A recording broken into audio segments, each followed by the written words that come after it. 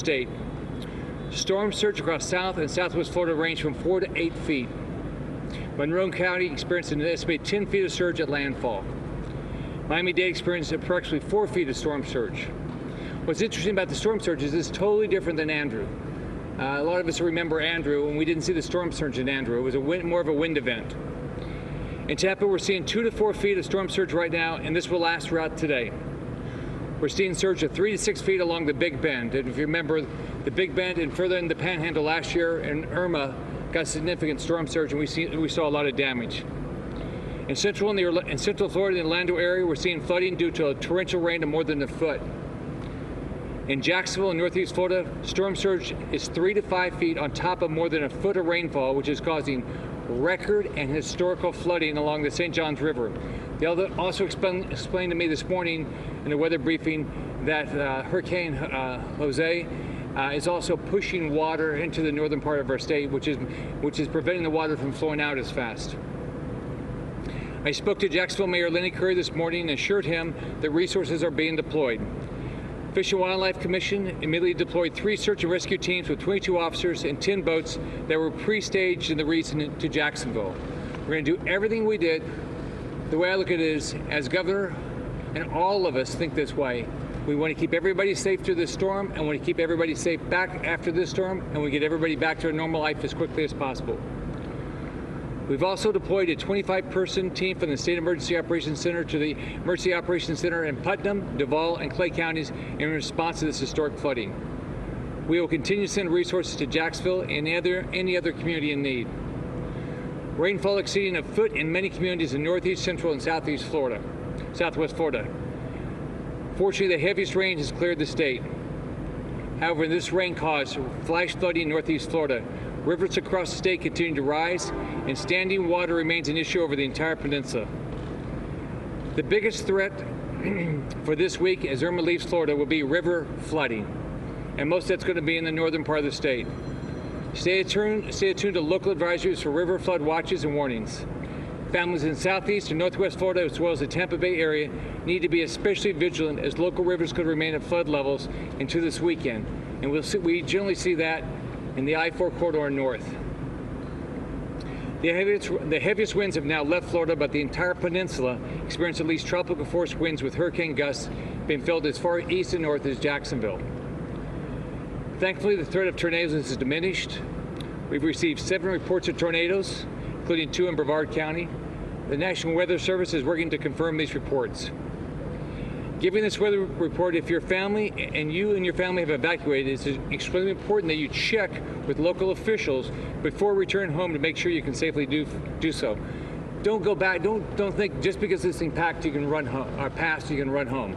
We've got we've got down power lines all across the state. We've got roads that are impassable still across across state. We've got debris all over the state. Our goal again is don't put any more lives at risk. We already went through this horrendous storm. Don't put your life at risk because of down power lines, debris, uh, impassable roads. This morning I had the opportunity to, to, to, travel with the Coast Guard and Admiral Schultz to survey damage throughout the, the, west coast of Florida and through the Keys. I want to thank the Coast Guard uh, for this opportunity. And here's what we saw. we saw we saw the, the the remnants of the storm surge along the west coast, but we didn't see what we, I didn't see the damage I thought I would see. We clearly saw uh, homes that were messed up. We clearly saw uh, roofs that were off. We clearly saw boats out of the place and things like that. But I thought we would see more damage. And we, there's still flooding. There's still sand on the roads and things like that. But on the west coast, uh, and this is confirmed by the mayors I've spoken to the, today, uh, it's not as bad as we thought the storm surge would do. Now, when you get to the Keys, uh, we were able to fly into uh, the Naval Air Station in, in, Key West, which was, uh, which, um, as of just a few hours before we landed, had significant water still on it. But they worked uh, to clear that. We went over all that area. We saw a lot of boats um, uh, wash ashore. We saw any, basically, almost every uh, trailer park, they're overturned. See, I don't, I don't think I saw one trailer park that every, almost everything wasn't overturned. We still saw a lot of flood damage, and from talking to um, uh, the officials down in the Keys, the water is not working, the sewer is not working, and there's no electricity. So it's it's very tough. Uh, the National Guard, uh, and this is Adjutant General uh, Michael Calhoun. They've already they've already gone all the way down the Keys, and all the bridges are passable. The roads are passable. However, there's clearly some bridge damage. There's clearly road damage, but you can you can get down there and and, and traffic. There's not a lot of traffic, which is good. Uh, it's it's uh, it's it's moving. Um, uh, my heart goes out to the people in the Keys. I mean, it's there's devastation. Um, it's it's uh, and you know I, I, just I just hope everybody um, you know survived. It's uh, it's it's it's horrible what we saw. Um, I know for our entire state, but especially for the Keys, it's going to be a long road. There's a lot of damage. Um, I want every. I know everybody wants to get back to normal. Um, I know everyone wants to get started, but again, we gotta. You gotta be patient. You gotta get the first responders in the Keys. We gotta get the water going again. We gotta get electricity going again. We gotta get the sewers going again. It's going to take a lot of time. I can tell you, everybody at the local level, the state level, and the federal level, everybody's uh, working hard.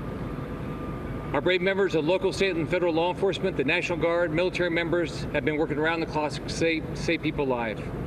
Um, we've got rescue teams with all sorts of equipment trying to make sure we don't have any, any we don't lose anybody. Um, if uh, if anybody's in harm's way, you, you can call your local law enforcement. You can call the state emergency hotline, which is 800-342-3775. Somebody will show up. Um, we're working with FEMA. I can tell you the um, the White House has been outstanding. I've talked to uh, I talked to President Trump three times yesterday. I talked to Administrator um, Brock Long with FEMA already today. I talked to him multiple times yesterday. I can tell you, uh, I've talked to so many cabinet members. Uh, I was with Vice, I talked to Vice President Pence yesterday. The White House and everybody at the federal level is showing up, and they are going to.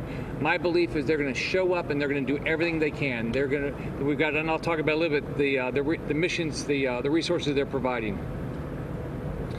Um, the see, DOT is working hard to clear the roads and inspect the bridges all across the state. We need to, DOT to inspect the bridges before people go back to these barrier islands and places like that. It's a top priority. It was a top priority after Matthew.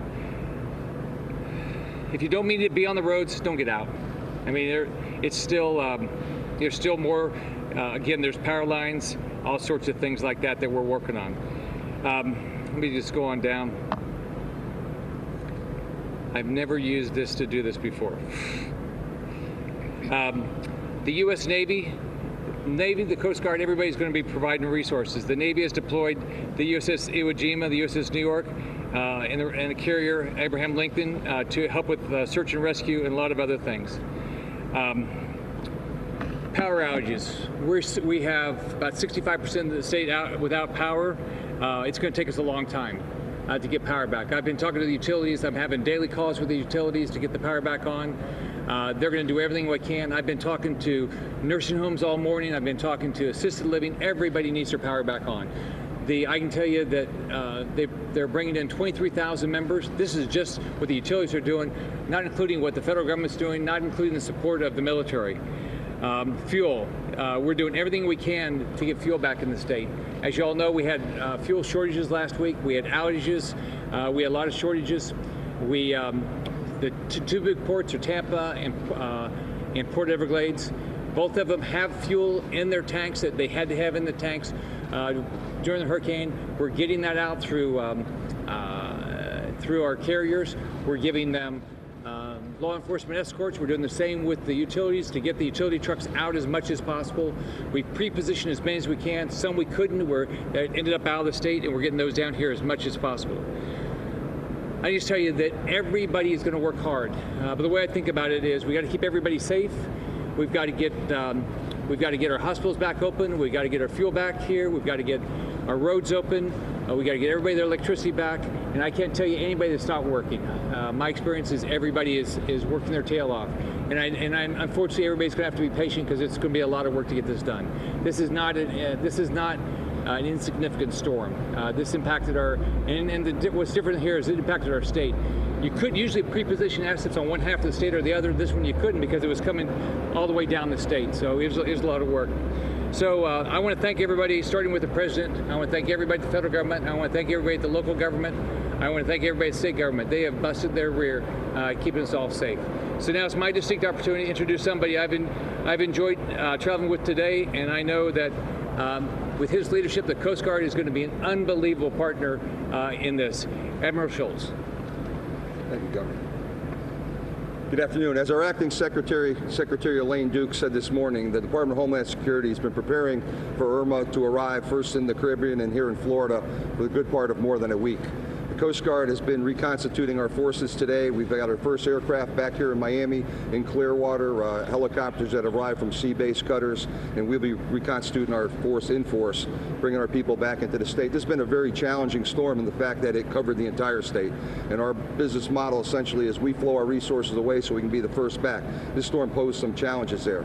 Uh, requests for search and rescue so far have not have been very very, very low. Um, we've had exceptional, enjoyed an exceptional partner with partnership with the varying capable Florida emergency management team with our DoD, Department of Defense, and National Guard partners, and uh, with state and local agencies, first responders. And uh, the Coast Guard remains committed to supporting the state of Florida and the Federal Emergency Management Agency, and I'll stand by for any questions. Thank you. The, um, as you all know, we had a significant evacuation effort in the state. Our uh, highway patrol did an unbelievable job keeping the roads open, uh, making sure evacuation roads were open. Uh, we of course had, had to uh, add some uh, contra lane, or not contra lanes, but shoulders. Uh, but there, our highway patrol did a great job. so now we have Major General, I mean, Major De La Dilpritra here from Highway Patrol. Good afternoon, and thank you very much, Governor. We appreciate your guidance, leadership, and support throughout this entire process. It's been overwhelming the Admiral, General, the support of the military personnel that are supporting local law enforcement, our first responders, has been nothing short of spectacular. On behalf of the Florida Patrol, we would like to urge all motorists in the South Florida area, Monroe, Miami-Dade through Broward County, to please avoid any unnecessary travel on our roadways help law enforcement, our first responders, and all of our recovery personnel, the fuel tankers, the utility trucks, and everyone else that's going to be involved in this lengthy process. Please assist us by staying off the roadways unless it's absolutely necessary, and most of all, overnight to uh, comply with the curfews that are in place. It'll greatly enhance and help us accomplishing getting everyone back to a normal way of life. Thank you. I called up 7,000 members of our National Guard. Uh, the National Guard shows up when uh, when uh, there's a crisis. Uh, they've been deployed over 100 times since 9/11, but in crises like this, they always show up. We're also getting National Guards from around the country. Uh, here we have Major General Michael Calhoun.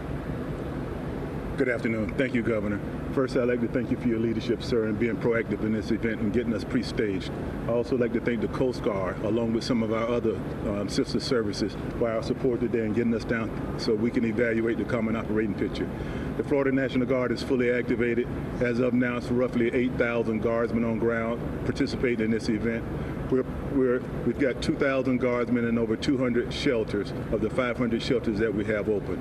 We've got 900 plus guardsmen in the immediate area with another 500 coming tonight. As the governor mentioned, we did go all the way down to the Keys. There's light traffic, but we sent a small engineer asset along with them to ensure that the roads are clear of any debris. And right now it seems to be working smoothly. We'll also have search and rescue. If they're not on the ground in the Keys right now, a bended search and rescue with Fish and Wildlife, Florida National Guard, and Urban Search and Rescue. Sir, thank you very much, Penny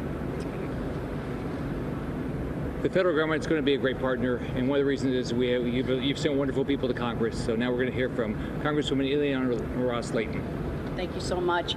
Uh, although we uh, we thank our first responders each and every day. Today, 9/11 is a especially poignant day, and we thank uh, the firefighters, the police officers, all law enforcement personnel who walked into uh, uh, what was sure to be uh, the day of their death.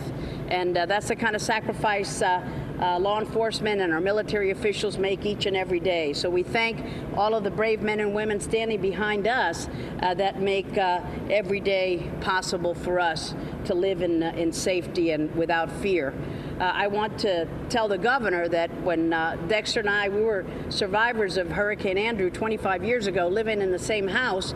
And boy, when you compare the federal, state, and local response during Andrew before, during, and after the storm to today with Hurricane Irma, it's been a, uh, no pun intended, a sea change in the positive way. It's been coordinated, it's been seamless. I know that uh, constituents are frustrated with the lack of gas and the lack of electricity, but it's been a big problem. It was a huge storm. It's going to take us a while to dig out of this, but. Uh, uh, Carlos Curbelo and I are determined to go back to uh, D.C. and work with our colleagues to find the funds needed for the hurricane relief efforts. We found it for uh, Hurricane Harvey. We're going to band together and find it for uh, the residents or who are survivors of, uh, of Hurricane uh, Irma. Para nosotros es un placer y un honor darle las gracias a las personas All que Congresswoman los Ros-Lehtinen joining Governor Rick Scott and Coast Guard officials, bringing us up to date on the recovery effort after Hurricane Irma, now a tropical storm. Uh, we are awaiting another news conference, a briefing by the Broward Emergency Operations Center. Uh, Mayor Barbara Sharief is expected to address the uh, public about efforts in Broward County. Uh, when that news conference begins, we will bring it to you live. All right, uh, just uh, summarizing what uh, Governor Rick Scott said, he uh, brought us up to date on the uh, storm surge totals in Monroe County. He said 10 feet of storm surge in some parts. The worst part uh, near Key West, as we know that storm came ashore at Cudjoe Key uh, yesterday morning, and uh, there are reports in parts of Monroe County of 10 feet of, of storm surge. Also in Miami-Dade County, 4 feet of storm surge. In Jacksonville, 3 to 5 feet of storm surge plus record rainfall uh, is now causing flooding along the St. Johns River. Let's go back to Governor Rick Scott. Say again. Oh, north of the Keys. If you get, if you get, um, what you saw in Key West is um, you saw the boats damaged, you saw some houses damaged, you saw some roofs damaged. But as you get, you go up towards Marathon, you saw any trailer park. I mean, there's, it's, I don't think I saw a trailer park where it seemed like everything wasn't turned over. Uh, you saw some flooding. You saw, um, you know, homes with the, you know without their roofs and things like that. You saw lots of boats damaged. Um, so, um, but you, uh, that's where I saw the worst damage. You could clearly see the storm surge. Um, now, you know, it. Um, the, the positive is, you know, um, I thought it was going to be even worse as far as um, you know, 15 foot of storm surge. You know, so uh, I hope every, you know, you just hope everybody survived.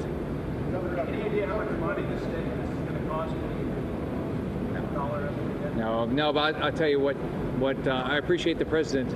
Uh, he did a pre-landfall declaration and he did a major declaration. Uh, he did a pre-landfall uh, uh, right after I asked him. I think the day I asked him, and he did um, uh, the uh, the major declaration uh, the same day I asked. They, the the um, Homeland Security, FEMA, the president, the vice president. They've just been great partners. We know there's people still stranded and people need a rescue. We are sending. We have rescue teams going out just to make sure. Um, you know, my I was. Um, you know, the flooding in Jacksonville, uh, we sent a lot this morning because we saw so much flooding there. Uh, so I know we have teams out there, and, and but I don't I don't have any uh, personal knowledge right now. if Somebody's still uh, still stranded, but I know we have rescue teams out. Governor, any fatalities that you are aware of, either in the Keys or elsewhere in the state that's related to? The the uh, the local officials will announce any uh, fatalities. Are you prepared for the influx of tourists who evacuate and come back down the state? There's not a lot of gas in the turnpike or the other stations. What do you think about it? Step one, we got to get the roads open. Uh, so, uh, highway safety, uh, Department of Transportation is working hard to do that, especially the evacuation routes. Number two, uh, we've got to get the fuel back. Uh, we um, we're working to make sure Port Tampa and, and Port Everglades get open so we can get the tankers in. There's tankers ready to come in. They're bringing a lot of fuel, so the but that will take some period of time because not only do we get have to get the fuel in, then we got to get the fuel to the gas station. So that's going to take a few days to get caught up because people bought so much gas. Uh, and I'm sure driving back, they're going to buy a lot of gas again. But right now, the, the big risk you've got is on top of those things, you got to be careful. There's so many power down power lines. You know, do you want to go to a house when you don't have any power? Uh, we've we've um, so the and then there's just because we the evacuation routes, we still have the local roads. And I know I've talked to the, uh, mayors around the state today, and they're all working hard uh, to get the roads clean. I've talked to sheriffs today, and they're doing the same thing. But there's a there's a lot to prepare before people rush back to their homes. Governor, you went almost county by county telling people to leave almost every hour. Are you satisfied with the number of people who left? From what you saw from the air today, the importance of lives that were saved by these people who needed that money. You know, the, here's the test. The test, it, you know, I, I, I don't, I don't want one fatality. You know, I don't want anybody to, I don't want anybody to die. So I hope everybody listened to what we were talking about. We'll find out over time if people did or not. I, I remember, um, you know, these days run together. But I remember uh, the morning of the uh, when the hurricane was hitting, um, the roads were empty, and so I think people did uh, did leave their homes and get off the roads. We opened almost, I think, right at 600 shelters. People got into shelters, which is really a positive. I, uh, by shutting down the schools, I shut down all the schools Friday through Monday. Allowed us to open up more shelters faster. Uh, now, it, you know, it made it a little harder when the when the storm moved to the west because we had to react very quick to do that. But but the local communities did that. Hi, uh, American Red, Red Cross came down. Thousands of vol- people volunteered. Uh, nurses showed up to help take care of our special needs patients.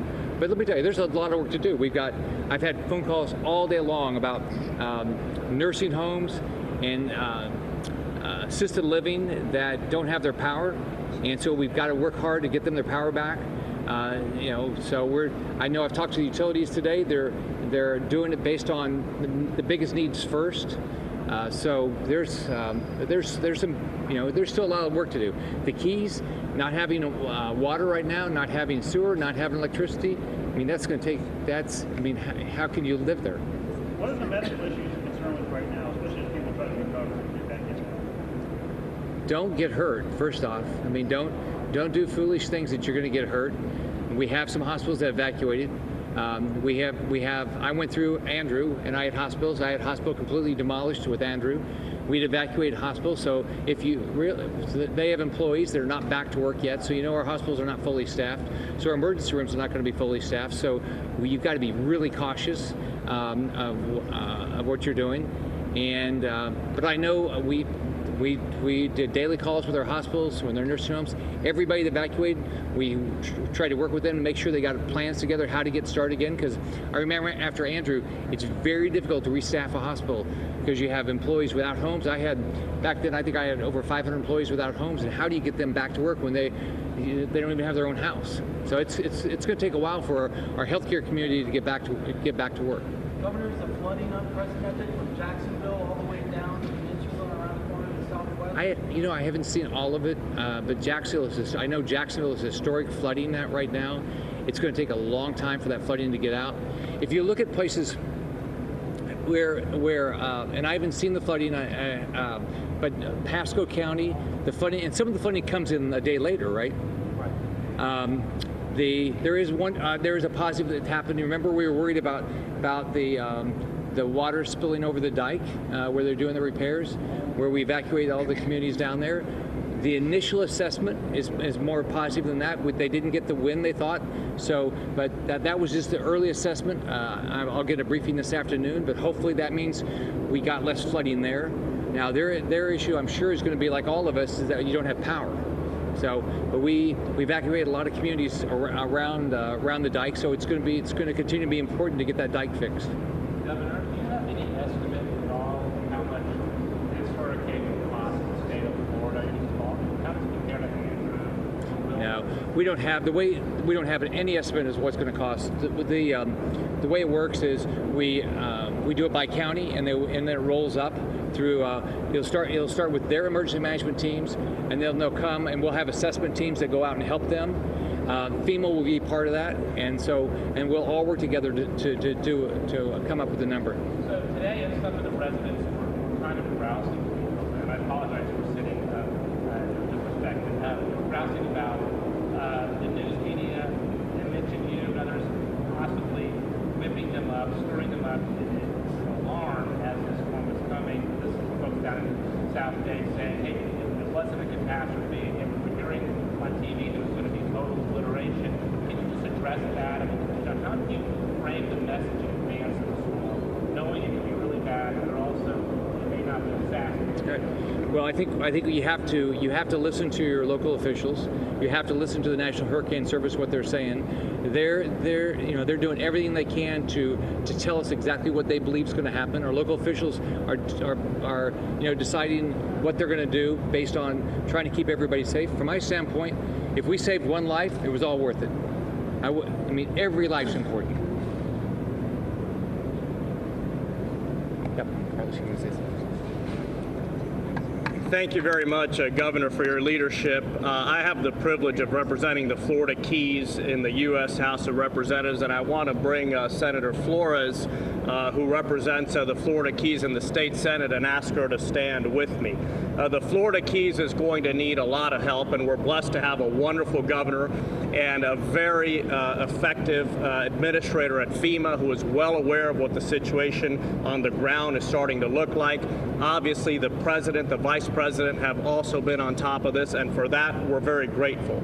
Uh, but we keep getting this question about how much this is going to cost, and we don't have an exact estimate, but I can guarantee you this it's going to cost billions upon billions upon billions of dollars to help the Florida Keys, Florida's southwest coast, and obviously uh, some of our residents here in Miami-Dade and County's Broward final County, press uh, conference to for today.